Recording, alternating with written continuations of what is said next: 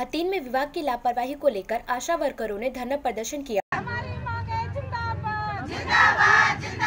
आशा worker union की तरफ़ से स्वास्थ्य विभाग की घोर लापरवाही को लेकर यूनियन के कर्मचारियों ने धरना प्रदर्शन किया। यूनियन के नेताओं का आरोप था कि हतीन सरकारी अस्पताल के एसएमओ मनीष गर्ग अपनी मनमानी कर रहे हैं। यूनियन की तरफ़ से 10 सूत्रीय मांग पत्र प्रवर चिकित्सा अधिकारी को सौंपा गया था।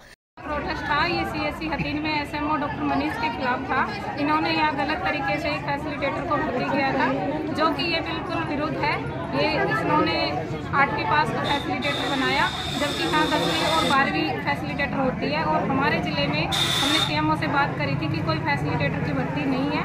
इन्होंने गलत तरीके से उसको लगाया। उन्होंने इस बात को माना है कि मैं इसको हटा दूँगा।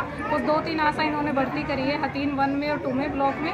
उन्होंने उनको भी हटाने के लिए कहा है कि मैं इनकी भर्ती नहीं करूँगा। क्योंकि तो हमारे डिस्ट्रिक्ट में कोई सेंसन ही नहीं है नई आशाओं की। तो डॉक्टर मनीष ने अपनी गलती को स्वीकार किया है? डॉक्टर मनीष अपनी गलती को स्वीकार किया है और कहा है कि मैं इनको हटा दूँगा। लिखत में भी दिए कोई? उन्होंने लिखत में मिनट्स निकलवाई है जो हम इनसे ले रहे हैं और वो मिनट्स जो 10-12 पॉइंट थे उन्होंने अच्छे तरीके से उन पर बात रखी है और मिनट्स निकलवा कर देंगे। तो आपकी मांगों को कब तक पूरा किया जाने का आश्वासन हमने दिया अपनी मांगों का समाधान करने की पूछा था कब तक का टाइम है तो उन्होंने कहा है कि हम 10 फरवरी तक जो आपका बजट बचा हुआ पैसा पिछला पेंडिंग है वो हम कर देंगे कंप्लीट और जो बाकी के जो पोलियो के एमआर के और फैमिली प्लानिंग के टीबी के जो हमारे पैसे पेंडिंग पड़े हुए हैं वो वो क्लियर 10 फरवरी तक कर देंगे। अगर नहीं अगर नहीं करते हैं वो 10 फरवरी तक हमारी समस्याओं का समाधान तो हम यहीं इसी आँगन में।